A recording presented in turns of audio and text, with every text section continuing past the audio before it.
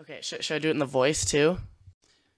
Probably because I mean, that'll, that's that'll, You, creative. you do prob- you. that'll probably make it better. Okay, so um my name is Courtney. It's the name that was given to me by my single mother, and I want to honor that because that's what she gave me when I was born.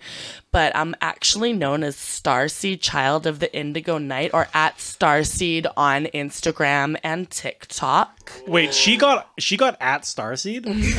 like, that's that's actually pretty impressive. Like on the ball. I know, Like right? as She- soon as a new platform opens, you're like, I'm getting Starseed on everything. She- Kelly, she was hold the- on, Kelly. What? This, this, she's not real. But I'm just enamored by the character. Like I assume that Instagram and TikTok are as real in this universe. Absolutely. okay. Um, She's got awful matted blonde dreads with grass, dirt, and flowers stuck in them. A very nice long yellow flowery, or sorry, a purple flowery sundress because she's an indigo child. Wait, is the word patchouli on your character sheet? it's actually not, but it, I do have sage though.